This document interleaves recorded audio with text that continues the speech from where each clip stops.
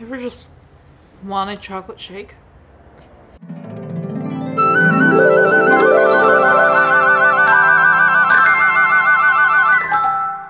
Welcome back to Every Disney Movie Ever. My name is Justin. I'm watching Every Disney Movie Ever. Today I'm going to talk about Snowball Express. Snowball Express is a 1972 theatrical release, and it's about a family who inherits a decrepit hotel in Colorado and decide to turn it into a ski lodge. The film was directed by Norman Hill Carson, cinematography by Frank Phillips, editing by Robert Stafford. It's written by Don Tait, Jim Parker, and Arnold Margolin. It's also based off a book called Chateau Bon Vivant by Frankie and John O'Rear. The film stars Dean Jones, Harry Morgan, Nancy Olson, and Johnny Whitaker. Dean Jones had quite the career. He did a ton for Disney. He's going on to do a ton for Disney in the year that we're in, but he also worked with Elvis Presley and Frank Sinatra and Harrison Ford and Beau Bridges and Angela Lansbury. He has a singing album and he died of Parkinson's disease in 2015. Harry Morgan was in everything. He was in a bunch of Disney films, but he was just in over 100 films in general. And then he was in MASH and Dragnet, two of his most notable roles by far. And he died in 2011 at the age of 92. Nancy Olson received a Best Supporting Actress nomination for her role in Sunset Boulevard. She did not win. And then she was in a ton of other Disney movies The Absent Minded Professor, Pollyanna. I think she makes a cameo in Flubber in the future. So she just had quite the career at Disney. I covered Johnny Whitaker's history in Napoleon and Samantha. If you want to learn all about Johnny Whitaker, by all means go watch Napoleon and Samantha because I do not want to be repetitive. It was filmed in Crested Butte, Colorado, and it made $6.1 million at the box office. The story got moving right away, which I was really happy about, and the title of the film is starting to come later and later. They're starting to wait until after the inciting incident, which is the thing that sets the whole story on its path. And that's kind of cool. We have like an opening title sequence after we've kind of grown attached to some of the characters, which I think is really nice. Dean Jones's character makes a comment about his one and only female coworker's legs, and she kisses him on the cheek for it. Yeah. She made the workday bearable because she had really nice legs. Just shoot me in the face. Without any kind of discussion, Dean Jones tells his whole family he's uprooting their lives and moving them to Colorado.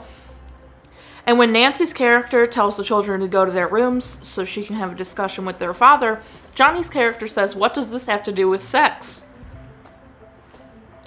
It was the most out of nowhere line, but it also killed me.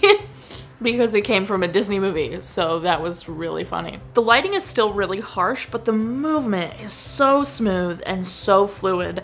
It's really great to look at.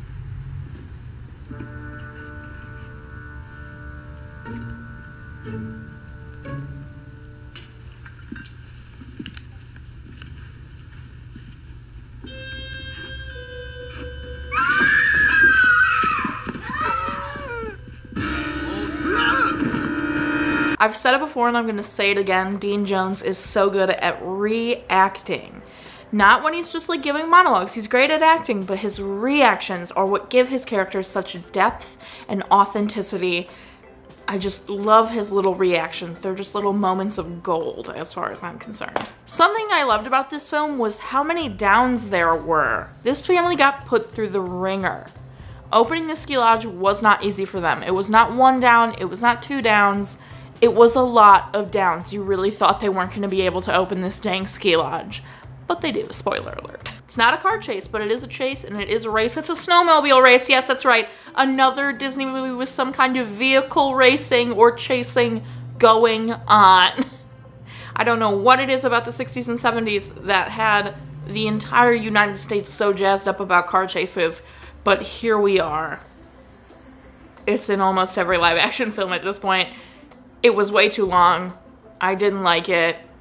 And they don't even win. They don't even win, which was actually interesting because they normally win the race. Because that's normally what it's about. Because it's like some kind of car chase or important race.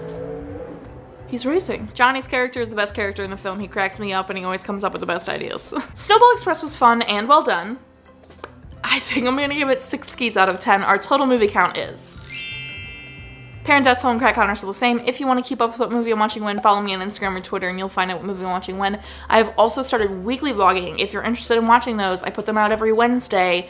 Please go watch the few I have put out so far and let me know if you're liking what I'm doing. If you hate me weekly vlogging, let me know. Until next time, comment, like, subscribe, but I'm not in charge of you are, so you do and do not be the bank owner about it. I forgot his name, but he lies and isn't nice. Filmed in Crested Butte, Colorado, but